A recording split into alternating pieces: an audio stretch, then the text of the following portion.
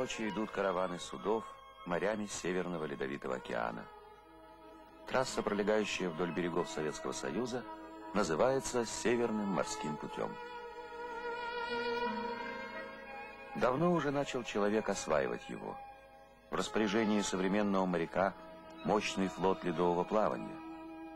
Когда-то русские поморы, офицеры Великой Северной экспедиции Петра I ходили тут на хрупких суденышках, искали короткий торговый путь к странам Востока.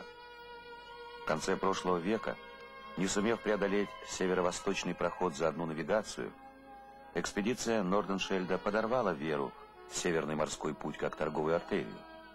Суда той поры не были еще готовы к ледовым плаваниям.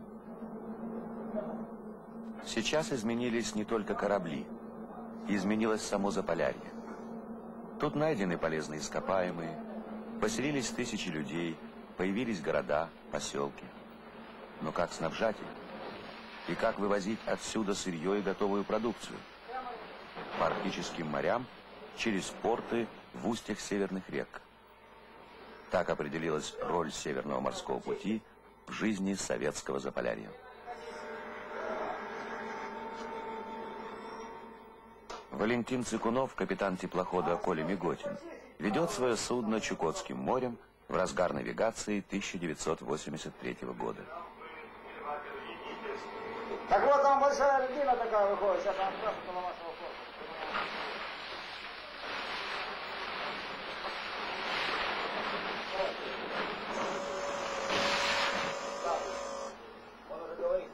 Еготин добавил что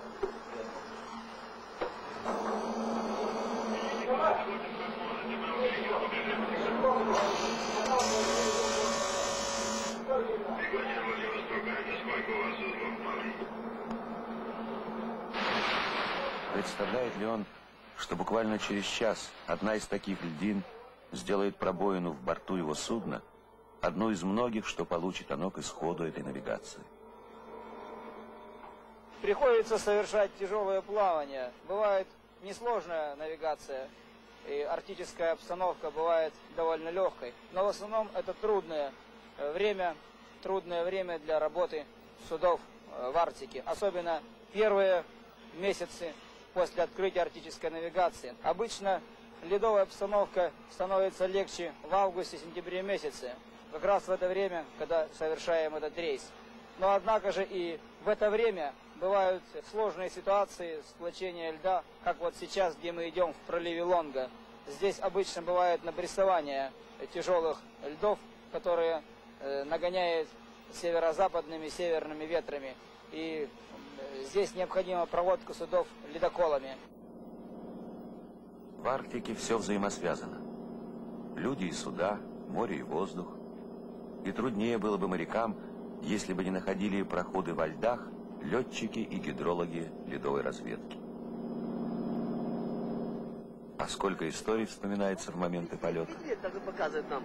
Это медведица, оказывается, была с медвежонком. Потянула воздух, рыкнула что-то, понимаешь. Подошла к винту и винт привлек, понимаешь. Села назад, между ног лопасть винта, понимаешь, и начала дергать. Вот прям как человек, понимаешь. Олег испугался, говорит, сейчас отломает ее, блин. Давай запустим. Зачем запускать? Сейчас Часами опять длится таки полет. ударишь ее, опять, значит, лопасть, может, может она не поломает.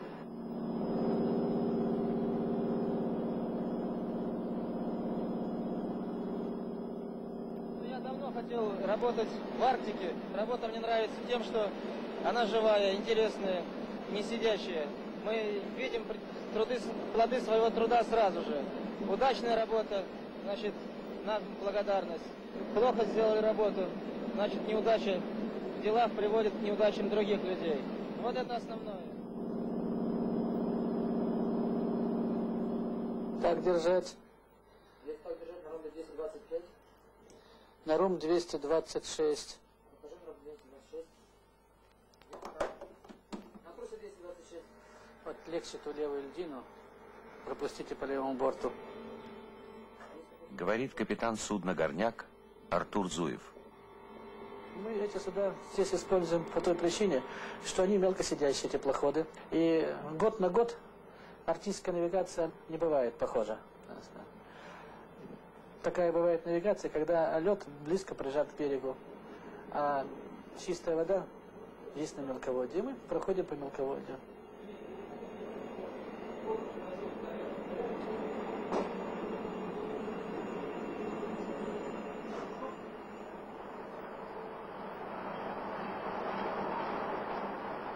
Крупнотоннажный транспорт «Игарка» – многоцелевой современный корабль.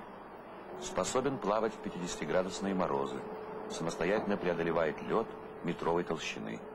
Строят такие суда в Финляндии по заказу Советского Союза. В конце навигации эти суда прошли испытания по самым суровым меркам и выдержали его.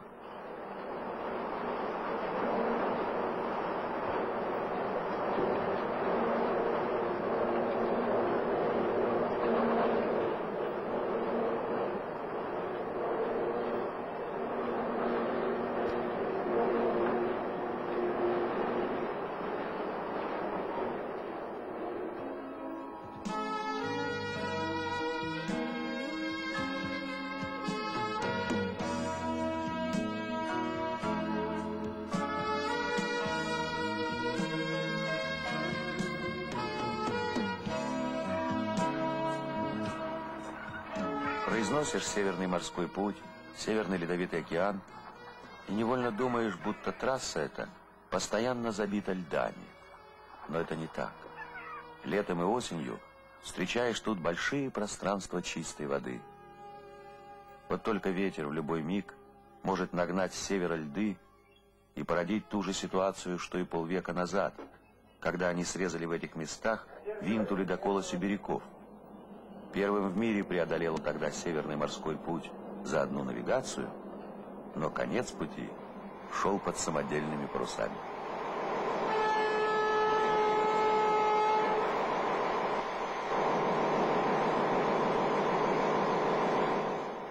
Вот почему в Арктике людям все время приходится быть начеку, внимательно слушать ее, следить за любой переменой в ее настроении. Для этого на трассе Северного морского пути – созданы два оперативных органа управления. Два штаба морских операций в Арктике, Восточный и Западный. Они постоянно держат связь с транспортами и ледоколами. Ледокол Ленин, штаб. Штаб, ледокол Ленин на связи. Подождите минутку, сейчас капитан подойдет. Хорошо, ждем. Штаб, я ледокол Ленин. Добрый день, слушай, капитан. Добрый день, Григорий Абрамович Полонин. Ну расскажите, как у вас там обстановка сейчас? А, Филипп Петрович, добрый день. Значит, сейчас мы на 172 Ну, тут обстановка пока приятная. Семимилин впереди. Восточный штаб в Певеке зафиксировал начало крупных атмосферных движений с непредсказуемыми пока последствиями. Наиболее важная картина сейчас у нас, э, наиболее важный момент, который надо отразить, это циклон, который появился в районе Тикси. Он стремительно вышел с течения ночи в- из района западного района Арктики, пересек Таймыр и сейчас находится прямо под Тикси. Это циклон сильный, мощный. Это наша, видимо, будущая перспектива, которая будет, он будет распространяться с запада на восток. По всем станциям Восточно-Сибирского моря Амбарчик минус 3,7, это самая низкая температура, Раучуа минус 1,7, Пивек 1,1, Айон 1,4, Валькарка 1,6. В общем, сплошной минус. Самый низкий амбарчик, минус 3,7. то есть Почти 4 градуса. Вот. И сплошные туманы. Туманы настолько обильные, ну это видно было и по Пивеку, что все практически море, и не только море, а все наши восточные арктические моря находятся в сплошной, можно сказать, сплошном тумане.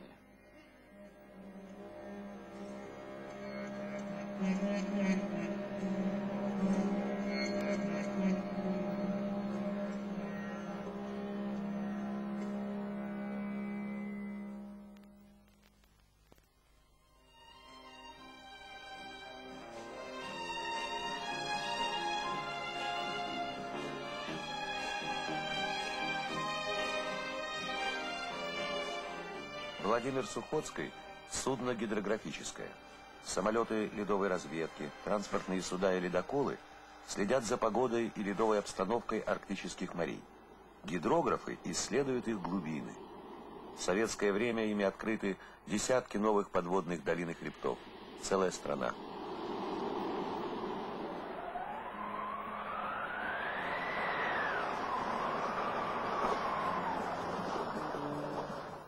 На Северном морском пути, как и на любой другой настоящей магистрали, есть целая система путевых знаков.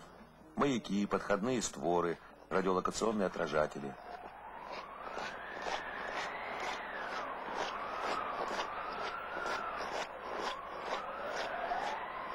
На одном из островов трассы внезапно замолчал радиомаяк. Плацмейстеры заменят испорченный блок новым.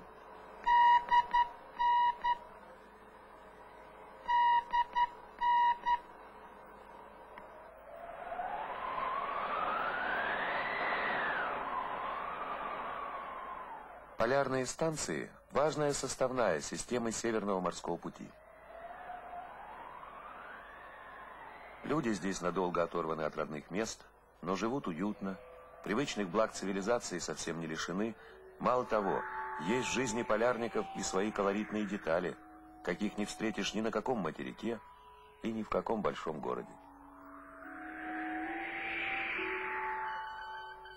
Ежедневно с полярных станций передают данные, которые служат основой для краткосрочных прогнозов погоды. Анализируя также сведения дрейфующих станций «Северный полюс», метеорологических спутников, ученые делают и долгосрочные предсказания того, как поведет себя Арктика в предстоящем году. Но безукоризненно точные прогнозы человеку пока не даются.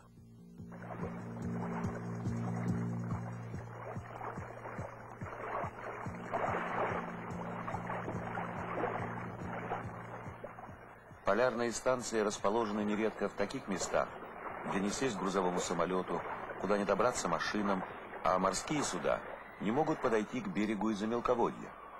Вот тогда приходится перегружать продовольствие и оборудование с судна на берег таким образом. Груза много, это ведь продовольствие на год, работа тяжелая. Но слабому человеку в Арктике вообще делать нечего.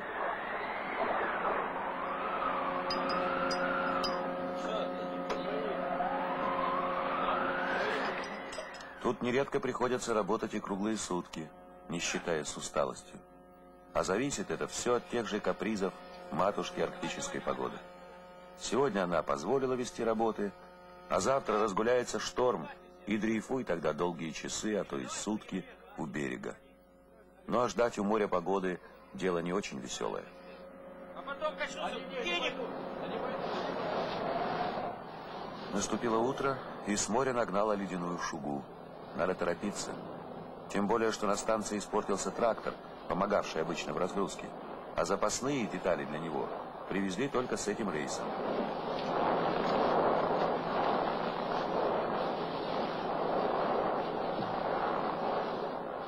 В конце этой навигации в Заполярье был испытан для такого рода перегрузок новый мощный грузовой вертолет. Но для вертолета нужны и суда повместительнее этого. В Арктике все взаимосвязано.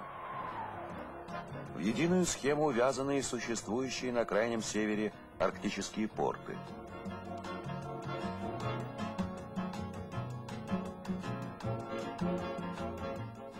Мурманск – столица атомных ледоколов страны, для характеристики которой привычным стало слово «самый». Самый крупный и благоустроенный за полярным кругом город – самый мощный и хорошо оснащенный заполярный порт.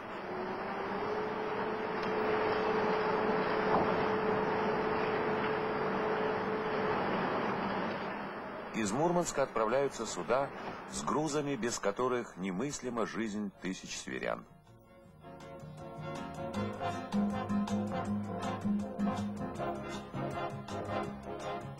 У каждого порта на трассе Северного морского пути своя особенность. Полвека назад на Енисее вырос порт Дудинка. Он довольно далеко отстоит от Енисейского залива Карского моря, но крупнотоннажные суда свободно подходят к его причалу.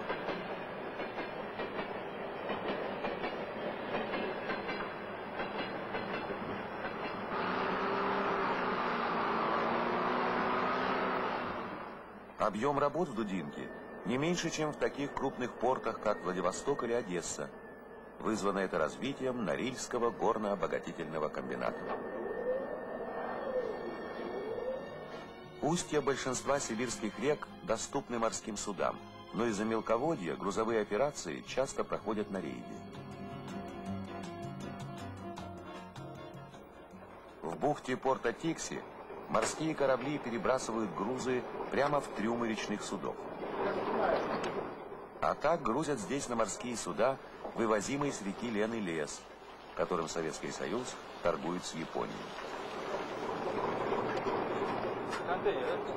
Чего давай?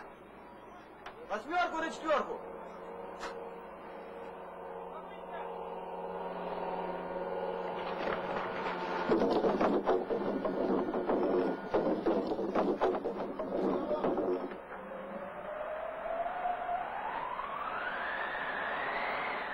Еще об одном виде перегрузок расскажет сейчас хроника, снятая зимой на мысе Харасавей, что на Ямальском побережье.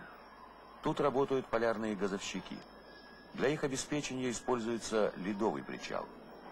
Гидрологи выбирают подходящие места на припае, а ледоколы подводят сюда транспорты, как к причалам. Отсюда по ледовым дорогам грузы непрерывно поступают на берег.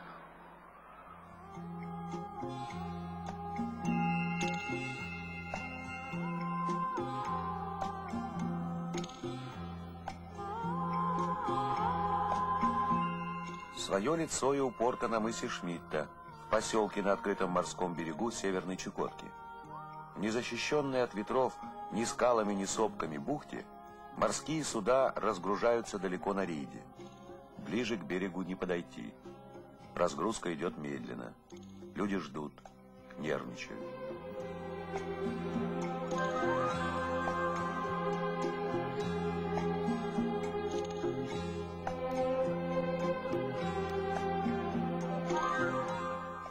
Льды начинают понемногу забивать бухту. Пусть люди здесь привыкли к этому, но капитан-наставник порта-пункта Владимир Вахрушев встревожен. Некоторые баржи получили пробоины и требуют ремонта.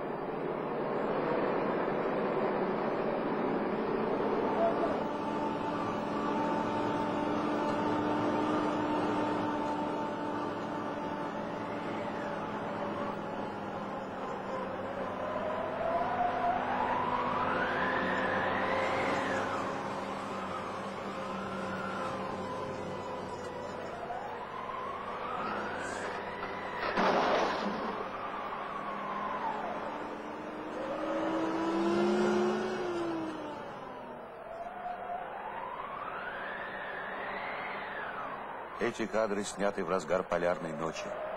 На суше Арктика не менее своенравна, чем на море.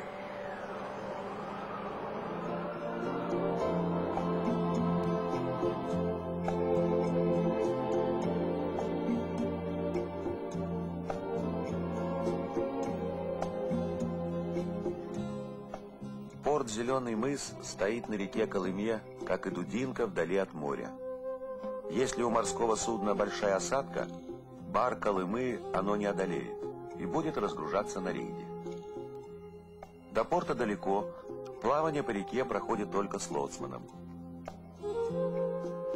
Сергей Милицын, лоцман опытный. За навигацию осуществляет несколько десятков проводок. Ему хорошо известно, что перевалки грузов штаб морских операций отдает добрую половину своей деятельности.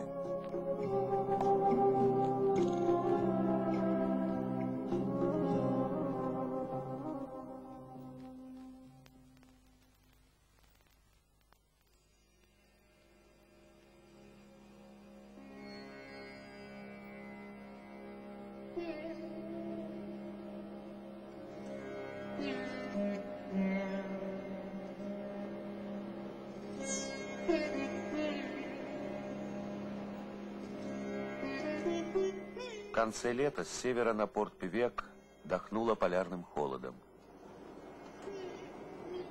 Я работаю в Арктическом морском порту 22 года. Ну, из них я не помню, чтобы именно была навигация хорошего. В каком смысле? В ледовой остановке. Всегда приходится работать в ледовых условиях. Даже в порту у нас. То есть в этом году вот хотели уже идти за грибами, но, как видите, снег выпал. И грибов не, не пришлось посадить собирать. А в прошлом году было у нас и грибы, и ягоды.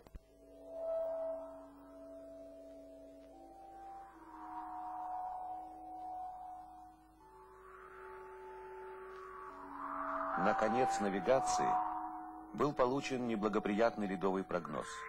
Его составили опытные специалисты. Уж слишком настойчиво еще с июля дули северо-западные ветры. Над Чукоткой висел туман. Призрак обвала многолетнего льда от полюса становился реальным. Слишком уж много оставалось открытых мест для нажимного дрейфа льдов, и вероятности того, что они перекроют трассу, никто не отрицал. Ветер дует, лед дрейфует, шутят в Арктике. Но правда этой шутки довольно грозная.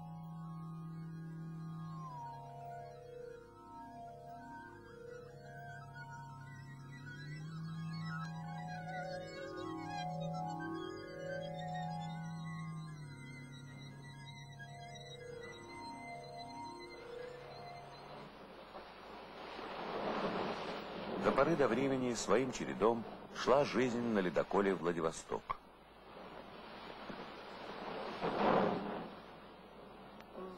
Скоро экипажа долетку пельменей один раз в неделю обязательно по четвергам. Вот, приходят все желающие, желающих большинство, как правило. Но потому что все умеют лепить и все любят хорошо покушать. Море любит сильных, а сильные любят поесть. Но вот 30 августа все же произошел обвал мощного ледяного массива. Он полностью забил пролив Лонга.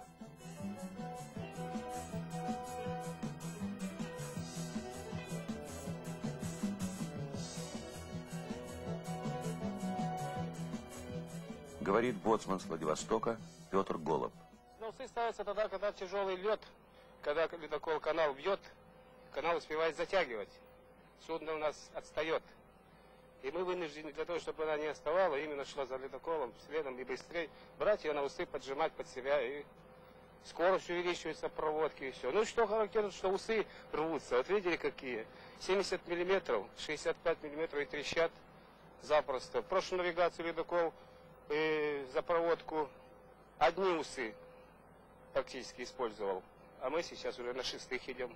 Пять штук уже порвали. Тяжело.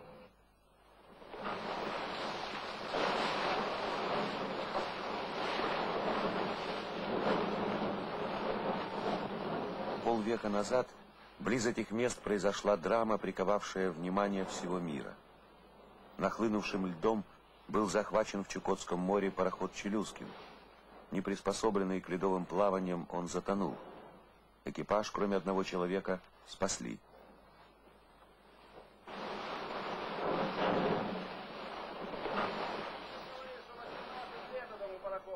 Сегодня по трассе Северного морского пути вновь плавает Челюскин. Ледокол. Судно несоизмеримо более мощное. Но и оно, вырываясь из Чукотского моря, получило повреждения. Нет! Нет, нашел! Понял, понял. 30 сантиметров! Корму! Право борта! Пробоина 30 сантиметров. Такие же угрозы возникли и перед другими судами. Многие ведь возвращались на запад проливом Вилькицкого. С палуб ледоколов поднимаются в воздух вертолеты, ищут проходы в ледовой перемычке.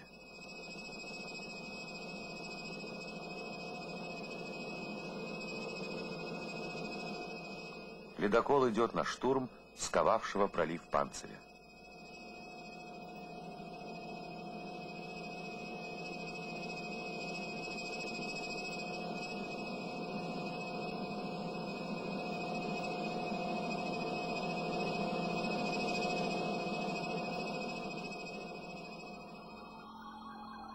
Каравану было трудно, но пролив Вилькицкого необходимо было преодолеть.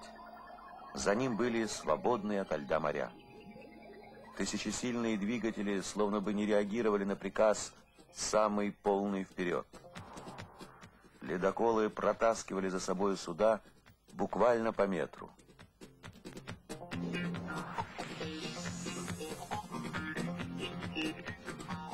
Григорий Матусевич, полярный капитан, за плечами у которого не один десяток навигаций, на трудности смотрел философски.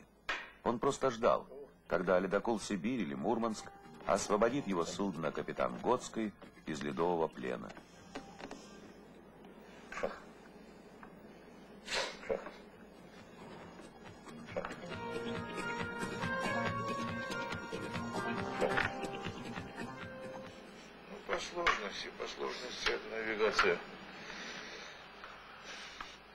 Очень сложная.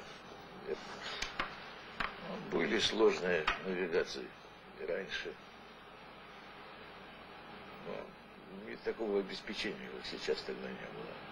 А при нынешнем обеспечении такие ледоколы мощные, суда мощные, и с таким трудом все делается, это довольно редко.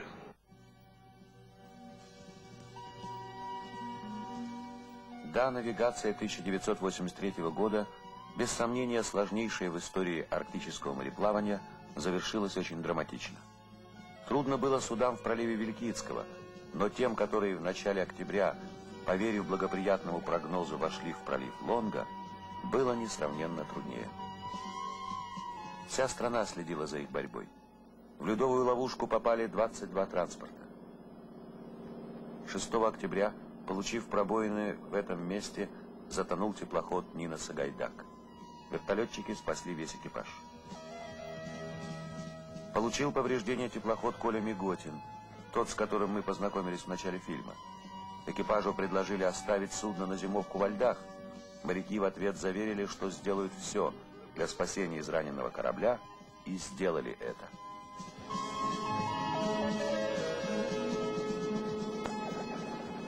Конце концов, 21 транспорт был выведен из Чукотского моря в порт Певек. Но это было позже. Пока же на помощь зажатым ледовыми тисками судам брошен был мощный кулак из всех ледокольных сил.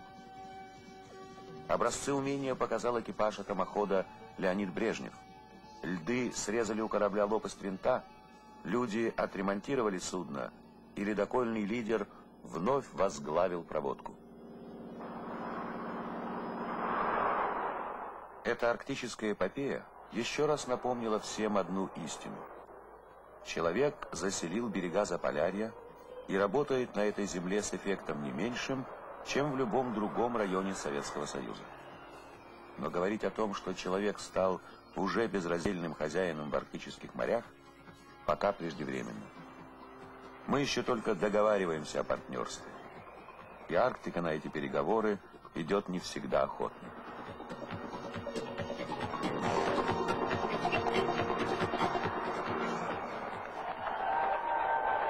И теперь понятнее становится своевременность спуска на воду нового атомного ледокола «Россия» со стапеля судостроительного завода в Ленинграде.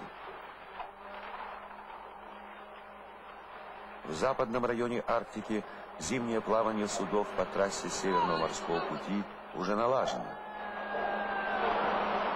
Дело за организацией круглогодичной навигации и в восточной части Северного Ледовитого океана. Сделать это можно только с помощью таких исполинов, как Россия.